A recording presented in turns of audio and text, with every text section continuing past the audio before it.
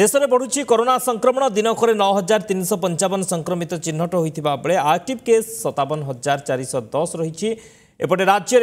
চব্বিশ ঘণ্টার ছবিশ জেলার চারিশ চব্বিশ করোনা আক্রান্ত চিহ্নট হয়েছেন সুন্দরগড় সর্বাধিক শহে বয়াশ সংক্রমিত চিহ্নট হয়েছে বেড়ে কটকু অণষঠি খোর্ধার পঁয়ত্রিশ ময়ূরভঞ্জু চব্বিশ অনুগুল বাইশ সংক্রমিত চিহ্নট হয়েছেন রাজ্যের সমস্ত হসপিটাল ডাক্তার কর্মচারী